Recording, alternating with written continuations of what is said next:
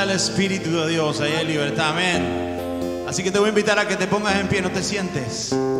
Aleluya. ¿Cuántos jóvenes hay aquí? Amén. Aleluya. Bendito sea el Señor, porque donde está el Espíritu de Dios hay libertad.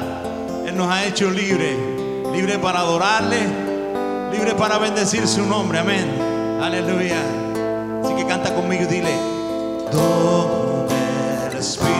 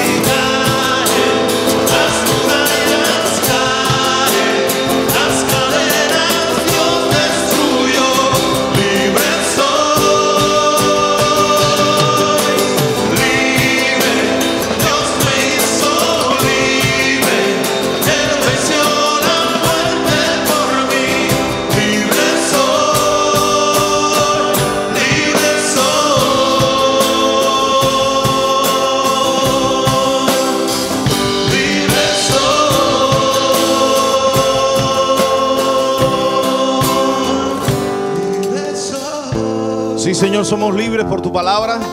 Somos libres porque tú dices que somos libres. Y en esta hora estamos aquí para declarar que si tú lo dices es suficiente, Dios. Con que tú lo digas es suficiente. Si tú dices que somos libres, libres somos. Libres somos por tu palabra, libres somos por el decreto, Señor, de tu boca, que es el decreto creador del universo. Y en esta hora, Señor, lo creemos. En esta hora, Señor, te estamos cantando cántico como a ti te gusta, cántico nuevo. No queremos, oh Señor, pasar de navidades a navidades cantando los mismos cánticos. Oh Señor, porque siga siendo la vida y siga siendo las costumbres igual. Queremos, oh Señor, cantarte cántico nuevo y decirte, Señor, se rompen cadenas. No soy esclavo más. En Cristo soy libre. No hay más condenación.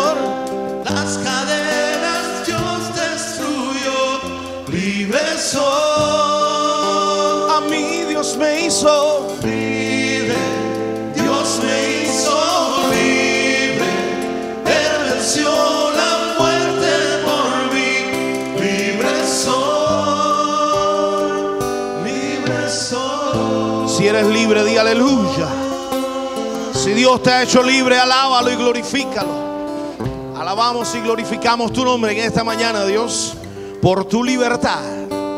Y porque hay libertad en medio de la alabanza. Te adoramos y te exaltamos, Dios, en el nombre de Jesús. Amén. Damos gracias a Dios por una mañana que el Señor nos permite compartir su palabra nuevamente. Año nuevo, serie nueva. Ah, no se dice año nuevo, vida nueva, sino año nuevo, serie nueva. Empezamos una serie de sermones nueva que va a ocupar los próximos tres domingos del mes de enero, antes del domingo 27, donde estaremos pues celebrando el domingo de primicias y por supuesto ese día será ese el tema. Ah, pero antes de esos domingos estamos comenzando una serie que el Señor ha revelado a nuestros corazones, predicar acerca de qué quiere decir ser un seguidor de Jesús. Cómo yo puedo verdaderamente dirigirme hacia las metas que yo me he trazado para el 2019. Cómo yo puedo escapar del positivismo mo- moderno, donde se dice trázate metas, las metas para el 2019. Y la gente hace pues diferentes cosas, escribe papelitos y lo ponen en magnets allí en el freezer o lo ponen en su teléfono celular, o lo postean en Facebook, o lo ponen de diferentes maneras, pero todo se vuelve una falacia, todo se vuelve un puro positivismo totalmente vacío de Dios, sin el respaldo de Dios, cosa totalmente temporal, mundana, material, diabólica, si verdaderamente yo no estoy dispuesto a ser un seguidor de Cristo.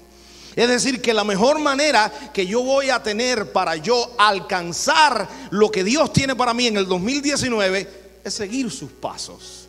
De lo contrario, estoy engañándome a mí mismo y engañando a todo aquel que le digo que tengo metas cristianas para el 2019. Eso es la serie Sígueme 2019, las 3 M clave, las 3 M de la serie, las va a ver a continuación. No se preocupe, vamos a leer a continuación de dónde salieron esas 3 M. Diga conmigo, movilizar, Movilizar, maximizar, maximizar, multiplicar. multiplicar. Vamos a decirlo de nuevo, movilizar, Movilizar, maximizar, maximizar, multiplicar. multiplicar. Esos son los tres pasos para seguir a Jesús en el 2019. Los tres niveles de seguimiento. Cualquier persona yo le puedo demostrar con mi Biblia en la mano. Y si la suya es igual que la mía, pues lo va a leer igual que yo. Yo le puedo demostrar con mi Biblia en la mano que toda persona que sea un seguidor de Jesucristo va a pasar por esos tres niveles. Va a ser movilizado por Cristo, va a ser maximizado por Cristo y va a ser multiplicado por Cristo. Lucas 9 del 1 al 2. Habiendo reunido a los doce, Ahí está. ¿Qué es lo que es eso? Movilizar. Los que reunió. discípulos. los movilizó, los llamó, los convocó. ¿Qué sigue diciendo? Habiendo reunido a los doce discípulos, les dio poder y autoridad sobre todos los demonios y para sanar enfermedades. No solamente los movilizó, los convocó, los llamó, sino que también los maximizó. Dice que les dio poder y autoridad para que las enfermedades y los demonios no los vencieran a ellos, sino ellos vencer a las enfermedades y los demonios. Ay, ya me está gustando el 2019 ya. Amén. Ay, ya me está gustando este año. Este año es un año donde Dios me llama y me maximiza. Pero sigue diciendo, Y los envió a predicar el reino de Dios y a sanar ¿Ya a viste? los enfermos. ¿ya viste la tercera? Multiplicar. ¿Y los envió a qué? A predicar. a sanar los enfermos. Esto es bien interesante porque cuando en la Biblia los cuatro evangelios son cuatro testigos del ministerio de Jesucristo. Y déjame decirte de que seguir a Cristo quiere decir estas, estas tres cosas. No hay un solo evangelio que es testigo, Lucas, no. Hay dos más que dicen casi exactamente lo mismo. Es decir, que los evangelistas y los que escribieron los evangelios captaron esta idea bien clarito. Mire cómo lo dice Mateo en el capítulo 10, los versos del 1 al 7. Si no está en pantalla, no se preocupe. Mateo 10, los versos del 1 al 7. Entonces, llamando a sus doce discípulos, Ahí está, movilizar, llamamiento. Les dio autoridad Ahí está, maximizar. ¿Les dio qué? Autoridad. Discípula. Ya este no es Lucas, ahora este es Mateo diciéndolo. sobre los espíritus inmundos para que los echasen fuera y para sanar toda enfermedad y dolencia. Los nombres de los doce apóstoles son estos. Primero Simón llamado Pedro y Andrés su hermano, Jacobo hijo de Zebedeo y Juan su hermano, Felipe, Bartolomé, Tomás, Mateo el publicano, Jacobo hijo de Alfeo, Leveo por sobrenombre Tadeo, Simón el cananita y Judas Iscariote el que también le entregó. A estos doce envió Jesús. Dime si ya viste el tercero. Multiplicar. A estos doce, ¿qué fue lo que hizo? Envió Jesús. Es decir, que a estos los llamó, a estos le dio autoridad y a estos los envió. Va viendo el mismo esquema. Lucas lo dijo, lo dijo Mateo. Mira cómo lo dice Marcos ahora. Cuénteme, pastora, cómo lo dice Marcos, capítulo 6, verso 7. Después llamó a los doce Ahí está, movilizar, los llamó. y comenzó a enviarlos de dos en dos. Ahí está, multiplicar, los envió. Y les dio autoridad sobre los espíritus inmundos. Y ahí está, los maximizó. Dime si ya lo viste en la palabra de Dios. Si lo cuentan los tres los tres evangelistas, yo no sé si tú te has dado cuenta de que eso es lo que Jesús quiere hacer contigo y conmigo al empezar este año. Jesús quiere movilizarte, maximizarte y multiplicarte. Alabado sea el Señor. Ese es el tema que nos convoca.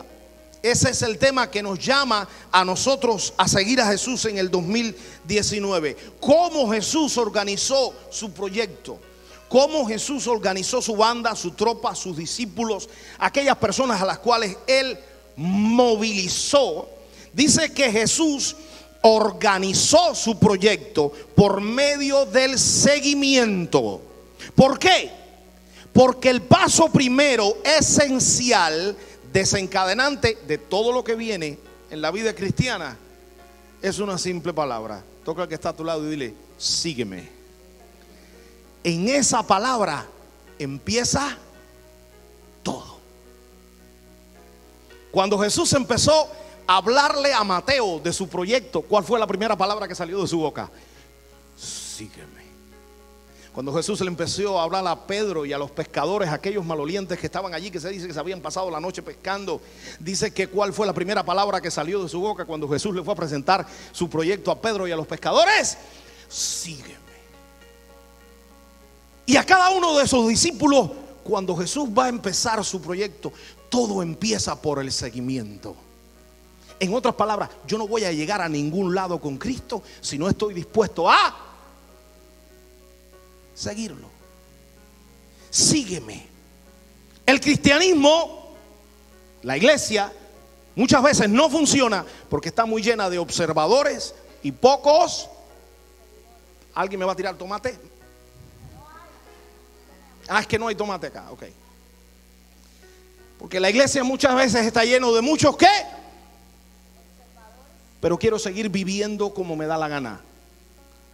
Quiero seguir haciendo con mi vida, con mis cosas, con mi familia, con mi tiempo, con mis prioridades, como quiero. Perdóname, cuando Jesús no es lo primero, cuando el reino es lo primero, no eres un seguidor, eres un observador.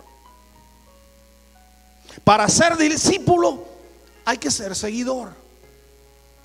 No dice que Jesús fue y fue a la casa de ellos y dice que daba culto allí uno los viernes a las 10 de la mañana en casa de... Dice que era así. No. Dice que ellos, ¿qué es lo que hacían? Lo dejaron todo. ¿Y qué fue lo que hicieron? Y siguieron a Jesús. Para acceder al reino de Dios hay que ser un seguidor. Dice que allí Jesús después de haber subido del desierto, dice que empezó a predicar, arrepentidos, porque el reino de los cielos se ha acercado. Pero ese proyecto del reino de los cielos lo empezó con gente que andaban detrás de él para arriba y para abajo. Seguidores. Para alcanzar las metas trazadas para este año, yo debo aprender a ser un seguidor de Cristo. No oigo amén. Dice que, dice Lucas capítulo 9, el verso 1 empieza diciendo, habiendo reunido a sus discípulos. Perdónenme, perdónenme. Yo puedo ser un seguidor de Jesucristo cuando aprendo a reunirme con los discípulos de Jesucristo. La iglesia es cuerpo porque se reúne. Quien no se reúne, perdóneme, es un buen religioso, pero no es cuerpo de Cristo. Dice que Jesús para enderezar, encaminar y multiplicar su proyecto, ¿qué fue lo que hizo? Reunió. Pablo parece que se encontró el mismo problema y le dijo a su, le dijo a, una carta, no dejen de reunirse, como algunos tienen por costumbre. ¿Por qué? Porque hay transformación en medio de la reunión. Repítalo conmigo. ¿Hay transformación? En medio de la reunión. Es decir, que no se trata cuando yo estoy reunido, no se trata de los demás discípulos. No se trata de yo ponerme a yo seguir a los demás discípulos. Se trata de que cuando yo estoy reunido, it's all about the master. Se trata del maestro. ¿Y cuál es el problema? Que mucha gente dejan de seguir porque dejan de mirar a quién. Al maestro. Y se ponen a mirar a quién a los discípulos. Y ahí está la pregunta, a ver, ¿y este todos los años que llevaba a la iglesia, a quién seguía? Porque yo no sé tú, pero yo llevo muchos años y a mí Cristo nunca me ha decepcionado. A mí Cristo nunca me ha decepcionado. Siempre he pertenecido a la misma iglesia, siempre he estado en la iglesia metodista, siempre he sido fiel al llamado que Dios me ha dado, porque he mantenido mi mirada en el maestro y no en los discípulos. Porque los discípulos hay unos más gorditos y otros más flaquitos. Hay unos más lisitos y otros más arrugaditos. Hay unos más jovencitos y otros menos jovencitos. Hay unos que aquí por aquí y otros que por allá, otros que comen un arroz con gandules y otros que comen arroz con gris. Entonces, ¿qué hago yo con todo? Entonces, no, no, no, no, yo busco al maestro. Sigo al maestro. Movilizar Movilizar es lo primero que Dios quiere hacerte contigo. Día 6 de enero del 2019, empezando este año, palabra profética de Dios para tu vida. Hoy Dios quiere movilizarte. Set you in motion. El pecado causa parálisis espiritual. Por lo que el primer efecto del Evangelio es que me moviliza. Lo primero que tiene que hacer el Evangelio en mi vida, ¿qué cosa es? Movilizarme. Ay, pastor, qué linda es ese canto. Tú eres el alfarero. Yo lo canto con ritmo cubano y todo, porque ahí Dios me mandó a nacer. Porque y con tus manos me has transformado. Tú eres, suénala, el alfarero, ¡ey! que con tus manos me has transformado. Y aunque eso, casen los días, pasen los años, más te venero. No oigo la palma, rompe mi cántaro, rompe mi copa, rompe mi vida. Y hazla de nuevo. Rompe mi cántaro, rompe mi copa, rompe mi vida y hazla de nuevo. Qué lindo está ese canto, right? Déjame decirte algo que yo no sé si tú te has dado cuenta. El alfarero para cambiarte, ¿sabes lo primero que te hace? te pone en movimiento. El alfarero no te puede cambiar si no te mueve. Cuando tú eres un vaso en las manos de Jesucristo, el alfarero no va a cambiar nada en tu vida si no estás dispuesto a moverte en su rueda. Así que canta, tú eres el alfarero. Qué lindo está el coro y todo lo que tú quieras, pero no sigas viviendo como estás viviendo. Muévete con Cristo, síguelo, porque esa es de la única manera que tienes el de quitarte los moldes, eso que no te vas a entrar en el reino de los cielos. El alfarero cambia en movimiento. Dios no te va a cambiar si no te mueves. Por eso Dios se compara a sí mismo con qué? Con el alfarero. Ahora, ¿cómo puedo responder al llamado de Jesús? Y esto aquí se va a volver un poquitico más real de ahora en adelante. This is about to get real. ¿Cómo responder al llamado de Jesús? ¿Qué significa ser un seguidor de Jesús en el 2019? ¿Qué significa ser un seguidor de Jesús? Lucas capítulo 9, los versos 57 al 62 lo dice. Yendo ellos, uno le dijo en el camino, Señor, te seguiré a donde quiera que vayas. Y le dijo Jesús, las zorras tienen guaridas y las aves de los cielos nidos, mas el Hijo del Hombre no tiene dónde recostar la cabeza. Lo que vas a escuchar a continuación, sacado de este texto de Lucas capítulo 9, va a ser, escucha bien, tres requisitos para ser un seguidor de Jesús. Dicho por el mismo Jesús. ¿Cuáles son estos tres requisitos que yo tengo que tener para calificar? Si no tengo esos tres requisitos, no califico. Así que pregúntale que está a tu lado, tócalo, despiértalo porque lo veo medio friolento allí. Tócalo y dile, ¿calificas? ¿Calificaste? ¿Te dieron food stamps? Perdón, eh, te, dieron, te dieron Medicaid, ¿calificaste? Primer requisito Dice que había uno. Dice, Señor, yo te sigo. Dice que Jesús le dijo. Ahí había un, ahora sí había un dormido por ahí. No, es que es la hora de una pastilla o algo por ahí. Yo sé, yo sé cómo funciona eso. yo sé cómo funciona eso. O es la hora de que es la hora en que normalmente el resto de los días de la semana esa persona se levanta. No se cree. Señor, yo quiero seguirte. Y Jesús le dijo, espérate, mi las zorras tienen guarida, las aves de los cielos nidos, pero el Hijo del Hombre no tiene ni dónde recostar su cabeza. Primer requisito, seguirle, diga conmigo, desinteresadamente. Si yo no le sigo desinteresadamente, no califico. Cuidado, cuidado. Porque lo primerito que tenemos que dejar para dejarnos movilizar por Cristo es nuestros intereses personales. Oiga, la iglesia es un lugar donde la gente viene buscando protagonismo. ¿Sabe lo que es protagonismo? Protagonismo. el lugar, usted le pregunta a una persona, hay gente que usted se da cuenta que el lugar que más vienen buscando aquí en la iglesia no es la silla, no es el counter, no es el ministerio de los niños, es aquí adelante. No los ujieres. No, es acá adelante. Protagonismo. Cuidado porque eso es algo que está muy metido en el cristianismo. No tengo protagonismo en mi casa por los conflictos que tengo. No tengo protagonismo en el trabajo por los conflictos que tengo. Pero entonces vengo a la iglesia a buscar lo que no tengo en otros lugares. Y se vuelve la iglesia una lucha por el estrellato, una lucha por brillar. Y usted se da cuenta que hay gente que si no lo dejan brillar no viene más a la iglesia.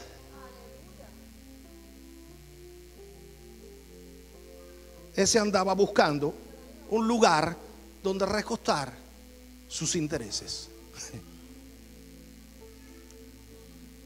Una de las cosas que conocemos muy claras es cuando una persona viene a servir, cuando una persona viene desinteresadamente a seguir a Jesucristo. A decirme, pastor, dígame en qué ayudo. Pastor, dígame en qué ayudo. Una de las grandes bendiciones que puedo tener con servir a muchas personas que sirven a mi lado hoy en día es que son personas que no solamente agarran un micrófono y que cantan allá, sino que acá cuando se bajan de allá arriba, agarran una escoba y empiezan a limpiar la alfombra. Ay, qué lindo está eso. Yo no busco el estrellato, yo busco servir a Dios. Cuidado, seguirle desinteresadamente. Mm, cuidado por el bienestar. Hay gente que se piensan que venir al Evangelio es que ya acepté a Cristo, no voy a tener más problemas en mi vida. ¿Alguna vez has escuchado eso? Acepté a Cristo, ya acepté a Cristo para no tener más problemas en mi vida. Te tengo una mala noticia. Aceptar a Cristo no es no tener problemas, es empezar a tener los problemas correctos. Dime si entendiste la diferencia. El camino cristiano no es no tener problemas, es tener los problemas correctos en la vida. Bienaventurados sois cuando por mi causa os vituperen y, os, y digan de ustedes toda clase de mal mintiendo. Seguir a Cristo es seguirle desinteresadamente. Y te voy a decir lo obvio, por si no lo sabes ya. El seguidor no va a donde él quiere. El seguidor no llega a donde él quiere. Si yo soy seguidor de Cristo, yo tengo que dejarme llevar por Cristo a donde él me quiera llevar. Hay muchas veces que venimos a Cristo y andamos con arrastres y todavía le echamos la culpa a Dios, al pastor y a los maestros de la iglesia por lo mal que me ha ido la vida cristiana y porque he pasado el balance en el 2018 y la vida cristiana no me ha servido de nada y todas esas cosas que suceden, pero es que te has dedicado a ser un oidor un espectador y no un seguidor, porque hay muchas cosas que el pastor, la pastora, los maestros y los líderes se han pasado el 2018 predicando y que todavía no has dejado. Ser seguidor de Cristo es dejarme llevar a donde Él quiera. Eso quiere decir que va a haber cosas, situaciones, relaciones, condiciones que yo voy a tener que dejar desinteresadamente. Contar de seguirle. Eso es ser un seguidor de Jesucristo. Primer requisito, seguirle. Desinteresadamente. Seguirle por quien es. El propio Mateo lo descubrió 16, 16. Respondiendo Simón Pedro dijo, tú eres el Cristo, el Hijo del Dios viviente. Y espérate, si tú eres curioso y si te das cuenta y eres de los que son medios polillosos bíblicos, cuando llegues a tu casa, échale un vistadito al capítulo 16 y te vas a dar cuenta que allí Jesús está hablando con sus discípulos después de la alimentación de los cinco mil y después que alimentó a los cinco mil y que empezó a predicar los sermones que predicó Jesús, dice que muchos se fueron, fueron y dejaron de seguirle porque tenían intereses personales, porque no le estaban distos a seguirle desinteresadamente. Y dice que Jesús le hizo una preguntita clave a sus discípulos. Eh, chamacos, ¿Y ustedes qué? ¿Ustedes también se van a ir? Y dice que Mateo le contestó, ¿a quién iré, Señor? Simón. Simón, Señor, tú eres el Cristo, El Hijo. el Hijo del Dios viviente.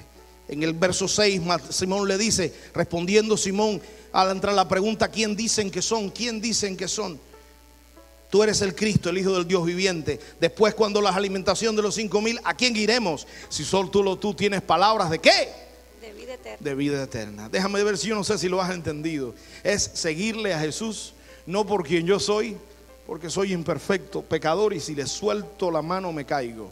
Es seguirle por lo que Él es. Él es el Cristo. Y yo tendré problemas, defectos, incapacidades y muchas cosas que no son muchas virtudes, pero Él es el Cristo, el Hijo del Dios viviente. Y yo canto mal y me miran atravesado cuando levanto mi voz y mis manos en la iglesia, pero Él es el Cristo, el Hijo del Dios viviente. Y hay un diagnóstico médico que no entiendo mucho por ahí. Y no todo lo que me pasa en la vida lo entiendo. No todo lo que me pasa en la vida es bueno, pero Él es el Cristo, el Hijo del Dios viviente. Y si cuando yo empiezo a entender eso, es cuando yo empiezo a tener el primer nivel de una cosa que se llama adorador. Yo le adoro porque mi circunstancia, mi salud, mi finanza, mi condición puede cambiar, pero Él no cambia. Él es el Cristo, el Hijo del Dios viviente. Por eso le sigo, no por quien soy yo, le sigo por quien es Él. Y Pedro lo descubrió. ¿A quién iremos? Si tú y solamente tú tienes palabras de vida, y aquí viene la clave, eterna. Seguir a Jesús desinteresadamente es seguirle por las cosas eternas. Seguirle por las cosas que son eternas. Verso 59, ¿qué dice? Y dijo otro, a otro, sígueme. Él le dijo, Señor, déjame que primero vaya y entierre a mi padre. Jesús le dijo, deja que los muertos entierren a sus muertos y tú ve y anuncia el reino de Dios. Segundo requisito para calificar, ¿cuál es, Mónica? Ayúdame, por favor, se me olvidó, se me perdió, el papel está aquí, no se preocupe. El segundo requisito para calificar, ¿cuál es? El primero es seguirle desinteresadamente. El segundo es seguirle no definitiva, no, todavía no hemos llegado allá. Lea bien. Definidamente. Seguirle como definidamente. Jesús conoce mejor que nosotros las cuestiones irresueltas que tenemos. Aquí tenemos un discípulo que le dijo a Jesús en otras palabras, Jesús le dijo, sígueme. Y él le dijo, Señor, espérate, déjame primero, déjame primero ocuparme de lo que me tengo que ocupar. Déjame primero ir y enterrar a unos muertos que me quedan por ahí. Enterrar muertos. Cosas irresueltas. A ver si me estás entendiendo. Enterrar muertos. Cosas irresueltas. Yo no sé si tú has entendido la gran verdad que hay aquí. Tú te crees que Dios no sabe las cosas irresueltas que tú tienes y aún así te dijo, sígueme. Ya te traduje el texto que acaba de leer la pastora. En otras palabras, Jesús está diciendo, sígueme. Y el otro le dijo, déjame pues primero vaya a enterrar. Y Jesús le dijo, ¿y tú te crees que yo no sé lo- todas las cosas pendientes? Te estoy diciendo, deja todo eso y sígueme. ¿Cuántos tienen cuestiones irresueltas todavía hoy?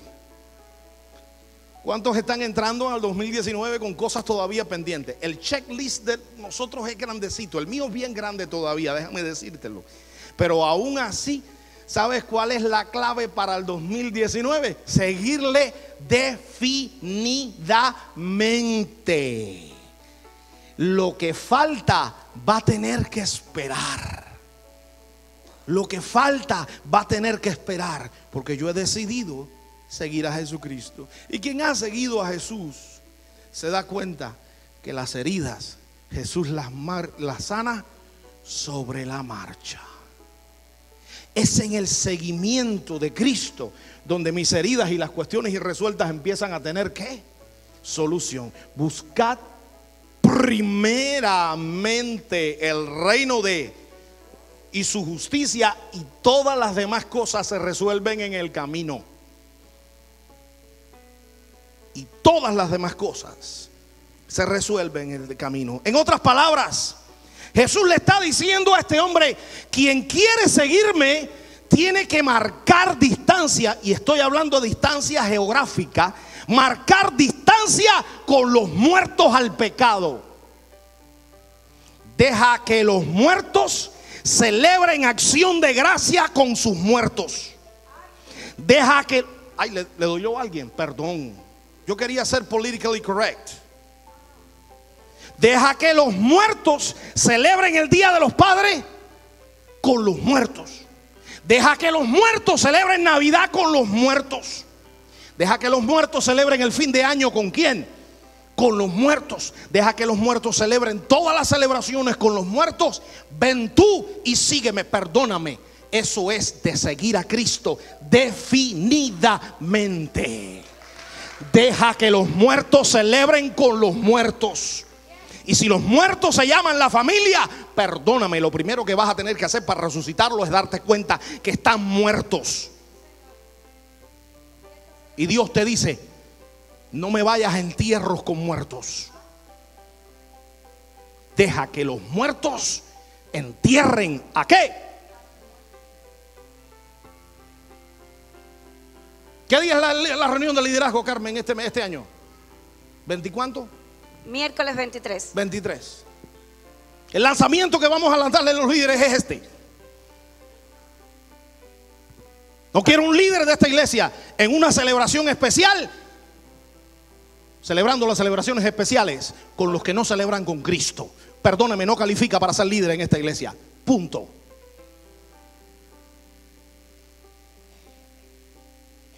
Deja que los muertos entierren a quién? A sus muertos. Eso es seguirle. ¿Cómo? Definidamente. Es eliminar la línea entre lo personal, porque es lo más común. Usted no ha escuchado a alguno, nosotros como pastores lo escucha. Pastor, usted alguna vez cuando en su vida activa no lo escuchó a alguna persona que le dijo, pero es que eso pertenece a mi vida personal. ¿Alguna vez escuchó a eso? No, pastor, no ande ahí porque eso pertenece a mi vida. ¿Qué? Eso es personal. Eso no es, eso no es, eso no es cristiano. Eso no pertenece al área donde usted como pastor debe entrar a, a ministrar. Yo no sé cuántas veces esa misma persona ha cantado, no vivo yo, mas vive Cristo en mí. Para mí el morir es vivir. Para mí el morir es vivir. Ay, a nadie le dé pena cantarlo ahora. Para mí el morir es vivir. Para mí el vivir es Cristo. En otras palabras, para seguir a Cristo no puede existir una línea de división entre lo cristiano y lo personal. Eso es seguir a Cristo. ¿Cómo? Definidamente. Cristo quiere cambiarlo. ¿Sabe qué cosa? Todo. Todo. Allí está el ejemplo típico. Mateo capítulo 10, los versos 21 y 22. Marcos, perdón. Entonces Jesús mirándole le amó y le dijo, una cosa te falta, anda, vende todo lo que tienes y dalo a los pobres y tendrás tesoros en el cielo. Y ven, y, ¿y qué? sígueme, Ay, le sonó la palabrita, cuidado de nuevo. Ven y qué? sígueme, tomando tu cruz. Pero él, Mm, diga conmigo, pero, pero, pero, pero, cuidado, pero, pero. Él, afligido por esta palabra, se fue triste porque tenía muchas posesiones. Tenía cosas en su vida en las que no quería que Jesús metiera la mano. Y cuidado porque, déjame decirte, la manifestación más, porque cuando el diablo sabe que existe lo blanco y lo negro, que está bien definido, inventa los grises. Entonces usted se cuenta mucho, se, cuenta muchos cristianos que dentro de la iglesia tienen cosas personales, pero las disfrazan de ministerios. No, pastor, eh, eso sí, esto es Iglesia Nueva Esperanza. Yo soy líder de de Iglesia Nueva Esperanza, pero eso es un ministerio personal que yo tengo. Eso no vuela aquí. Eso no funciona aquí. Si usted no está totalmente enfocado en el ministerio de Nueva Esperanza, yo le voy a hablar de otras iglesias que los pueden aceptar. Y le voy a dar una carta de referencia y todo.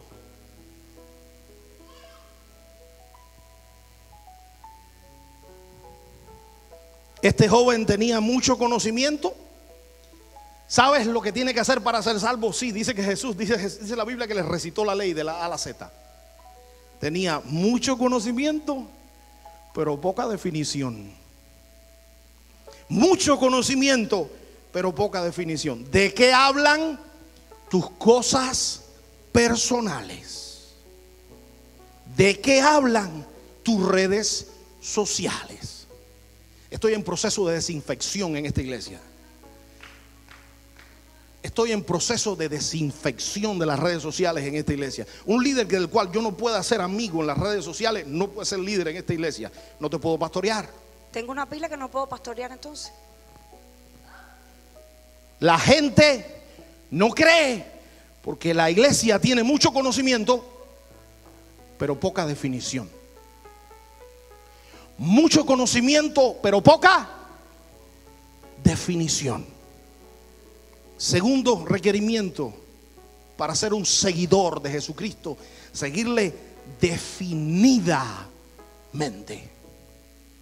Verso 61 dice, Entonces también dijo otro, te seguiré, Señor, pero déjame que me despida primero de los que están en mi casa. "Mm, Y Jesús le dijo, ninguno que poniendo su mano en el arado mira hacia atrás es acto para el reino de Dios. ahora sí viene la palabrita que dijeron ahorita. Ahorita era definidamente, ahora es definitivamente. ¿Entiende la diferencia? Yo me defino y ahora después que estoy definido, quemé los barcos. ¿Sabe la historia de quemar los barcos? ¿Alguna vez ha escuchado la historia de quemar los barcos? Vamos, eso está muy ligado a la historia de América Latina. Es la historia de Hernán Cortés, el, colonizador español, cuando llegó a las costas de México. Creo que son las costas de Veracruz. No sé si algún mexicano aquí me corrige. Cuando llegó a las costas de México y dice que desembarcó toda su tripulación, dice que le dijo a uno de sus, de sus soldados, le dijeron, háganme el favor, pónganme barriles de pólvora a las naves, explótenlas y quémenlas. Y dice que un soldado se le acercó al general y le dijo, general, espérese, espérese un momentico. Detrás de esa selva que está ahí, nosotros no sabemos qué es lo que hay.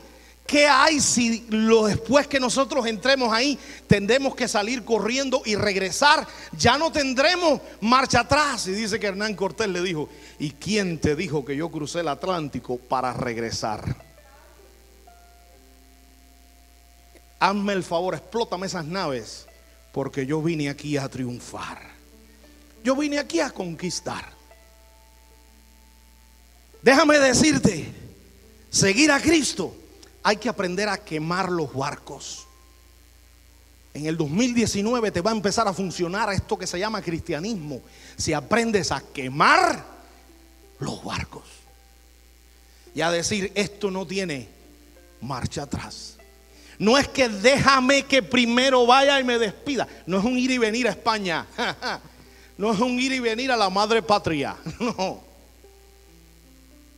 Es un viaje de ida sin revuelta. ¿Cuántos tienen un one way ticket to heaven? ¿Sabes lo que es one way ticket to heaven? Déjame decirte, el pasaje al cielo no puede ser un round, un round, round trip. Aquí está, este discípulo se creía que era que al cielo se puede ir con qué? Con un round trip ticket. Estoy yendo y viniendo. Hay cosas que me suben a la cruz, pero hay cosas que me bajan de la cruz. Y a mí cuidado, a mí cuidado. A mí todo está bien, pero cuando me hablan de mis hijos me bajo de la cruz. A mí cuidado, pero cuando me dicen que me van a quitar tal cosa o que ya yo no puedo hacer tal cosa, hasta ahí, perdóname, Eso es alguien que está pidiéndole permiso a Jesús para regresar. Y que no está dispuesto a seguir a Jesús definitivamente.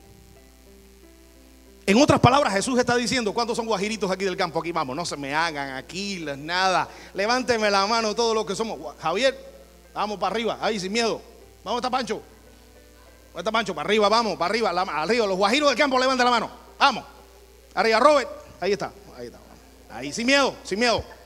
La gente Miedo, ahí la gente motombo, vamos arriba ahí. ¿Y de dónde tú eres mismo? ¿Guajiro de qué campo tú eres? De- Guajiro de Clearwater. ¿Sabe? Aquí está. ¿Cuántos han visto arar en el campo? ¿Cuántos han visto arar en el campo? Y usted va y la bestia va adelante. La bestia va adelante y usted tiene el arado tomado, right? Y usted empuja el arado hacia abajo. Pero espérate, que te voy a tener la lección del arado. El arado no se entierra hasta que no se mueve la bestia. El arado no se entierra bien hasta que no se qué. Hasta que no te movilizas. Pero no solamente que el arado se entierra, sino que usted nunca va a ver una persona arando y rechequeando las redes sociales al mismo tiempo. Espérate que me llamó mi mujer. Mira lo que dice fulano. Wow, hacía tiempo que no lo veía. Qué flaco se ha puesto. Eh, pero este cambió de mujer. Eh, pero mira. Y de pronto el surco que va haciendo, ¿sabe cómo es? Y cada vez que quito la mirada de la meta, el surco se me tuerce. Si mi vida se ha torcido alguna vez, es porque hay momentos donde he quitado la mirada de la meta. Ninguno que pone su mano en el arado y mira a otro lugar que no sea la meta, es apto para qué. ¿Sabe por qué? Porque los guajiros del campo lo sabemos. Hasta los de Clearwater lo saben. ¿Sabe qué es lo que sabemos? Que cuando el surco, aquí te va, cuando el surco no es recto, el agua no fluye. Para que el agua de vida eterna fluya, el surco tiene que ser como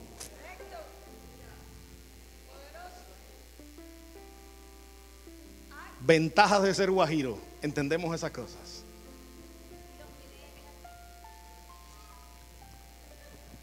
Marcos capítulo 1, 17 y 18.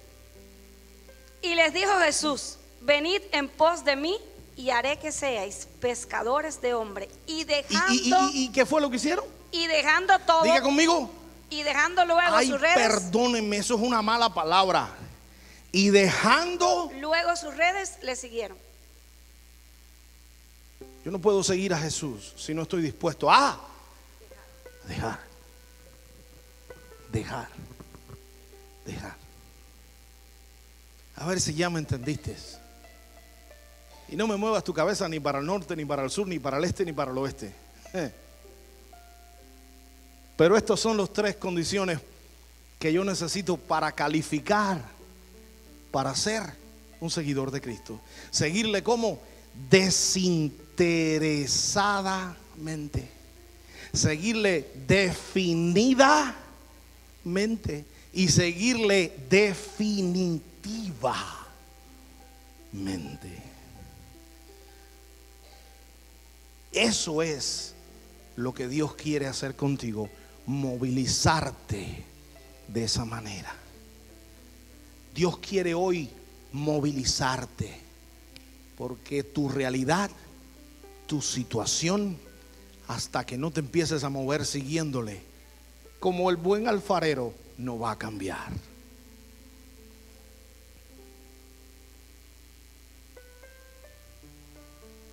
La respuesta hoy que puedes hacer es una oportunidad preciosa. Primer domingo del año. Primer domingo del mes. Donde celebramos la cena del Señor. No es un acto religioso. Pero yo te voy a invitar en esta hora. Si no estás dispuesta a alguna de estas tres cosas, no pierdas el tiempo. Porque dice la Biblia mía y la tuya también, que estás comiendo y bebiendo juicio para ti. La cena del Señor es para todo aquel que con un corazón arrepentido está dispuesto a seguir a Cristo. No tiene que ser miembro de la iglesia, porque en nuestra iglesia la mesa es abierta. El único requerimiento que pone la iglesia metodista, ¿sabe cuál es? El que pone la Biblia. Hágalo con un corazón arrepentido. Primer domingo del año, primer domingo del mes. Que tú puedas abrir tu corazón y decirle, Señor, yo quiero de tu cuerpo, yo quiero de tu sangre, porque yo quiero seguirte durante este año definitivamente, definidamente y desinteresadamente. Ora conmigo, Señor, te doy gracias por esta tu palabra, te doy gracias porque ella es viva, ella es eficaz. Y tu palabra, Señor,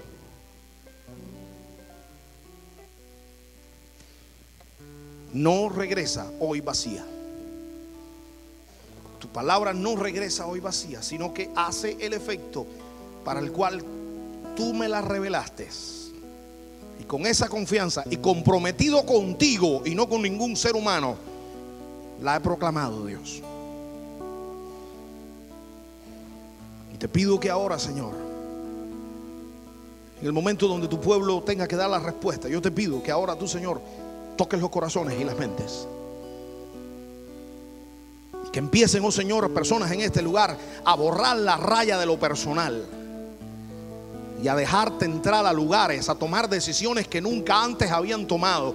Empezar en este 2019 a hacer cosas que antes nunca había hecho. No hay mayor torpeza que hacer lo mismo y esperar resultados diferentes. Si estás orando por peticiones no contestadas, lo que has hecho hasta 2018 no te ha funcionado. No es que Dios está trabajando, no es que no estás siguiendo como tienes que seguir.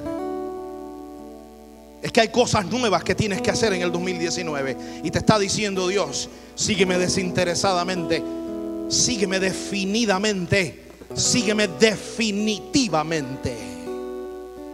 Porque es allí en medio de esa rueda de alfarero donde Dios va a empezar a cambiar, donde Dios va a empezar a cambiar cosas, donde Dios va a empezar a cambiar realidades en tu matrimonio, en tu familia, en tus hijos, en tu casa, en tu finanzas, en tus negocios. Dios va a empezar a cambiar cosas cuando te movilices. Dios va a empezar a trabajar cuando te movilices.